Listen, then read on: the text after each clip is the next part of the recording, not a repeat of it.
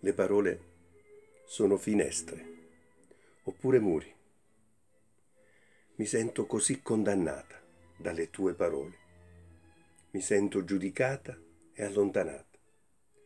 Prima ancora di aver capito bene. Era questo che intendevi dire? Prima che io mi alzi in mia difesa, prima che parli con dolore o paura, prima che costruisca un muro di parole, dimmi, ho davvero compreso bene? Le parole sono finestre, oppure muri, ci imprigionano o ci danno la libertà. Quando parlo e quando ascolto, possa la luce dell'amore splendere attraverso me. Ci sono cose che ho bisogno di dire, cose che per me significano tanto.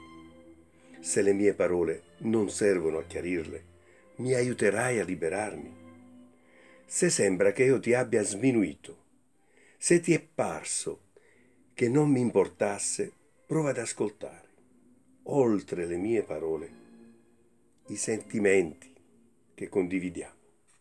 Ruth Weber-Meyer. Da Le parole sono finestre oppure muri di Marshall Rosenberg.